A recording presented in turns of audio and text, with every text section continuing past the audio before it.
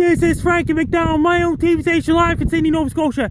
Heavy rain is headed towards Vancouver, British Columbia on Tuesday, March 21st, 2017. It's going to bring up to 30 plus millimeters of rain in Greater Vancouver, British Columbia and Fraser Valley. There'll be windy conditions along the coastal areas of Vancouver Island. On the west coast of Vancouver Island, it's going to bring a lot of rain that could cause a lot of puddles in the streets of Greater Vancouver, British Columbia and Fraser Valley, including Nanaimo, British Columbia, Victoria, British Columbia, Vancouver Island, Parksville, Qualicum Beach, Courtenay, Comox, Campbell River,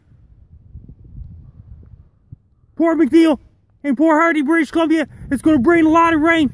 It's going to bring a lot of puddles to the streets of Greater Vancouver, British Columbia, and the surrounding areas as well, since the low pressure system is headed towards the west coast of Canada.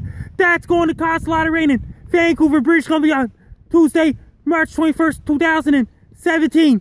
It's to bring a lot of rain. I recommend people to have your umbrellas ready when you go for a walk. People in Vancouver, British Columbia, be prepared. Make sure to have your rubber boots, raincoats, and suits ready.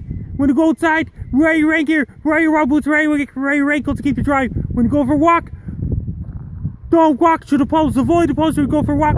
For people living in Vancouver, British Columbia, Canada. The heavy rain's also going to hit Victoria, British Columbia, Nanaimo, British Columbia, Vancouver, British Columbia, Hope, British Columbia, Chilliwack, Port McNeill, Port Hardy, Campbell River, Courtney, Comox, Beach, and Parksville, British Columbia as well, including Hope, British Columbia as well.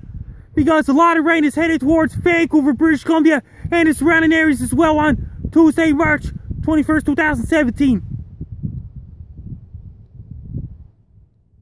If, if, if you have anybody living in Vancouver, British Columbia, be prepared for heavy rain on Tuesday, March 21st, 2017. Take care, stay safe. Don't get caught in heavy rain. Stay be safe.